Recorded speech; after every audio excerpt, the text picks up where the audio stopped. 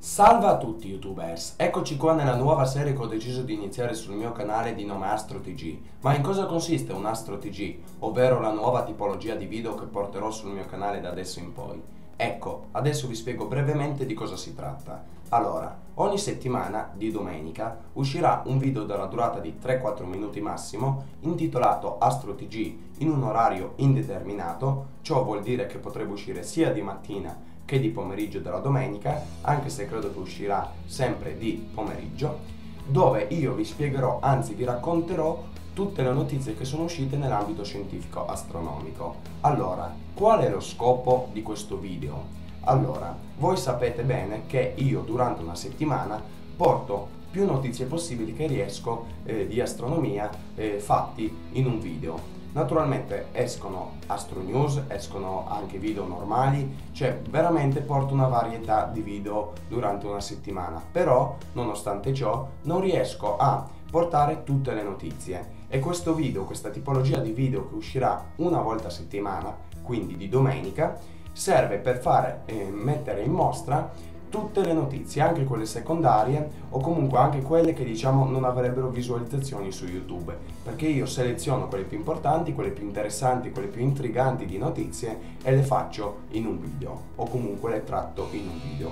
Quindi quello è lo scopo e queste diciamo sono le piccole regole che io ho deciso di applicare a questa nuova serie. Quindi sarà un appuntamento domenicale eh, di ogni settimana tranquilli usciranno sempre gli Astro News e gli altri tipi di video. Quindi questo diciamo un video aggiuntivo sicuro che ci sarà ogni settimana.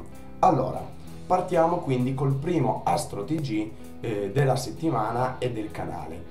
Allora come potete vedere qui ci sono quattro notizie su questo sito al quale io mi affido ANSA Scienza e Tecnica da dove io prendo le notizie di astronomia.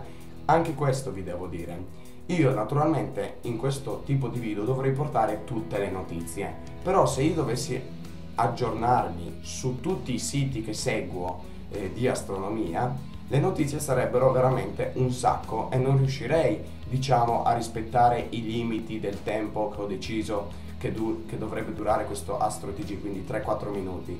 Quindi devo comunque affidarmi a un sito, io in questo caso mi affido a questo sito per chi mi segue sa che lo porto sempre in un Astro News o comunque sapete che io mi aggiorno su questo sito qua perché lo trovo affidabile, gestito da Gianluca Masi, responsabile del Virtual Telescope, sono ottimi articoli, eh, diciamo non ci sono errori e comunque sono sicuro che non sono diciamo notizie fasulle, quindi questo è il mio diciamo sito di fiducia di astronomia.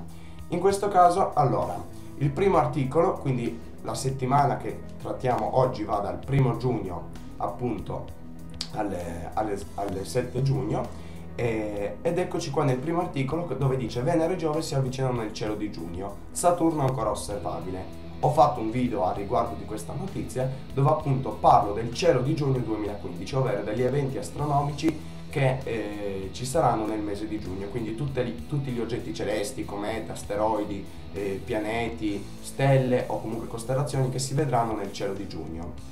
Poi abbiamo su Marte aurore azzurre e luminose, visibili a occhio nudo mai, viste, mai previste finora fuori dalla Terra.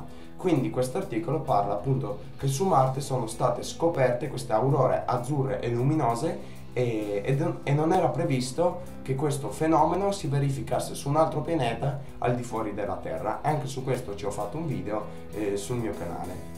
Poi abbiamo la danza caotica delle lune di Plutone. A luglio il passaggio ravvicinato della sonda New Horizons. Qui appunto parliamo delle lune di Plutone, parliamo della sonda New Horizons della NASA che il 14 luglio 2015 eh, si avvicinerà al pianeta Plutone, pianeta nano eh, Plutone, anche su questo ci ho fatto un video se volete. E poi l'ultima eh, diciamo, notizia di questa settimana, appunto Rosetta scopre come nascono le code delle comete generate dagli elettroni vicini al nucleo. Quindi qua stiamo parlando della missione Rosetta che nel frattempo, anche se il lander Philae sta ancora riposando e ancora eh, in ibernazione, eh, la sonda Rosetta che orbita intorno alla cometa 67P Chumarov-Gerasimenko, la quale si sta avvicinando eh, al Sole, ha scoperto come nascono le code delle comete, che sappiamo che possono essere più lunghe della distanza che separa la Terra dal Sole, ovvero più di 150 milioni di chilometri. Ecco, questo è Astro, è Astro TG Questo è Astro TG che io porterò ogni domenica di ogni settimana. Un video diciamo dalla durata di 3-4 minuti dove io vi dico due parole su ogni eh, articolo che è uscito durante questa settimana.